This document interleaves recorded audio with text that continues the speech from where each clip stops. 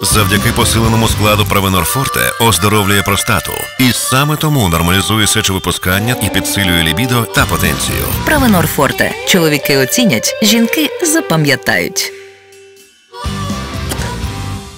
12 країн виступили зі спільною заявою, в якій застерегли від погроз застосування ядерної зброї. Документ підписали, зокрема, Китай, Туреччина, Казахстан, Південна Африка та інші держави. В заяві наголошується, що цивільна інфраструктура, в тому числі мирні, ядерні та інші енергетичні об'єкти, не повинні бути цілями воєнних операцій. Нагадаю, нещодавно Путін заявив про розширення умов для застосування ядерної зброї. Тепер однією з них є атака дронів. Держсекретар США Ентоні Блінкен назвав ядерні погрози Путіна цитую безвідповідальними. А президент України на генасамблеї ООН оголосив, що Путін планує атаки на наші атомні електростанції, чи може спричинити ядерну катастрофу. Олександр Коваленко, військово-політичний оглядач, долучається до ефіру. Пане Олександр, вітаю. Вітаю. Вже трошки часу минуло. Бачимо, що світові лідери також відреагували на рішення Путіна. Е, давайте спробуємо зрозуміти для чого і як використовуватиме е, російський лідер зміни до своєї доктрини. Він буде використовувати виключно в форматі погроз та шантажу. І не більш того.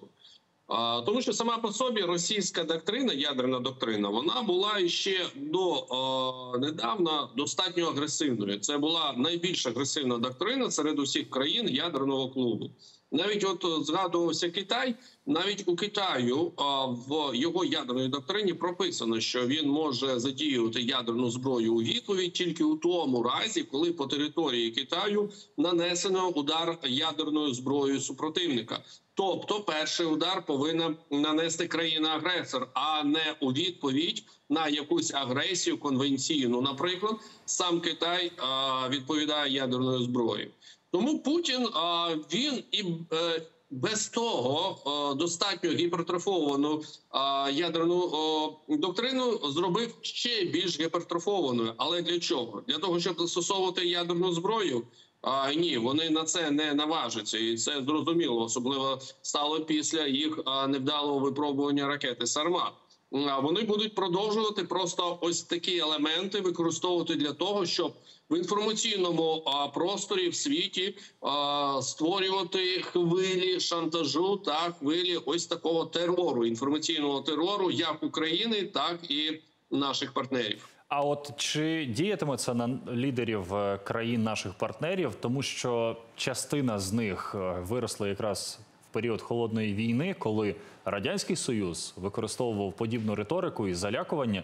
І давайте згадаємо, що ну їхня молодість могла припасти на той час, зокрема в Сполучених Штатах. Е, коли так само готувалися до можливої ядерної війни, будували бункери і проводили різні навчання. Чи стримуватиме це допомогу Сполучених Штатів рішення про надання дозволу на удари по об'єктах в Росії чи ні? Чи там чітко розуміють? І я вже неодноразово згадував, але мені здається, це показова зустріч Бернса з Наришкіним. Це дві розвідки, американська та російська, і американська сторона ще в 22-му, здається, році, коли е, звільняли сили оборони Харківщину та Херсонщину зазначила, що Росії не варто використовувати ядерну зброю, і нібито інсайдерські джерела західної преси говорять, що був перерахунок певних пунктів, які тоді е, ну наслідків точніше для Російської Федерації.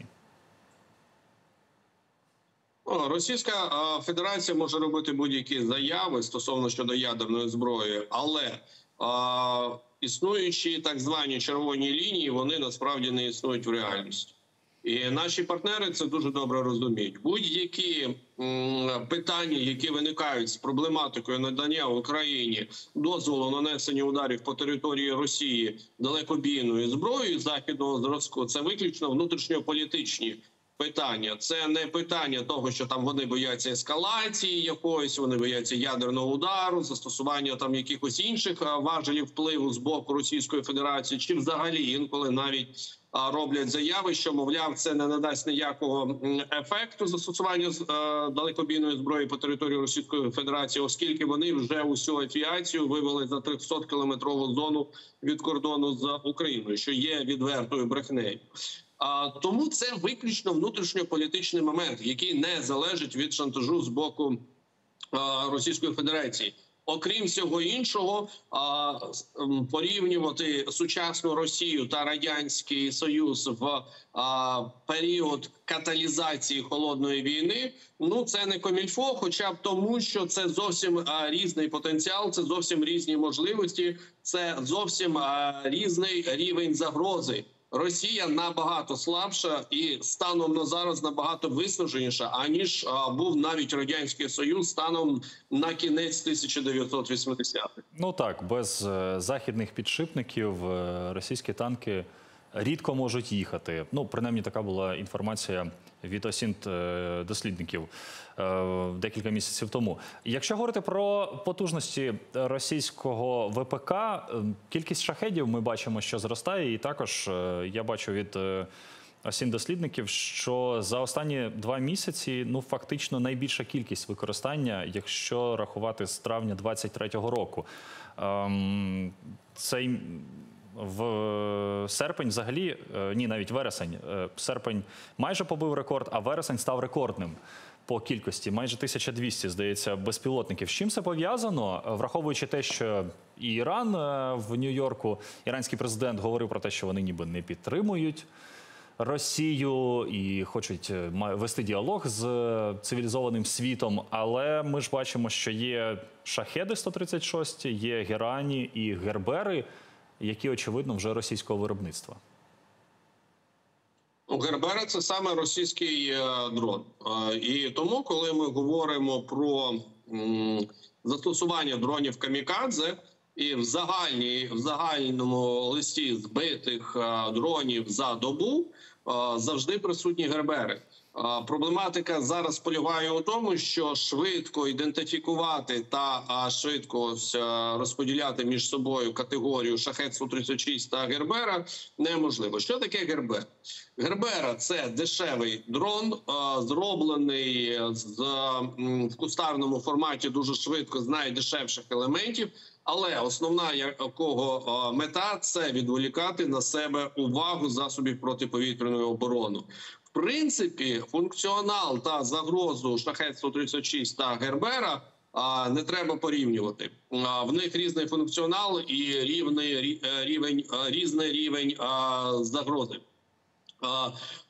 Під час нальотів дронів камікадзе в складі усіх цих хвиль обов'язково на кожен шахет 136 йде декілька гербер. В якій пропорції я не можу це коментувати. Це більш питання до представників повітряних сил збройних сил України. Тому я не можу говорити, що усі ці 1200 дронів, які були збиті та використані російськими окупантами, а це виключно шахет 136 Там досить велика є присутність саме ось цих гербер, створених виключно для того, щоб відволікати та розпорошувати увагу засобів ППО.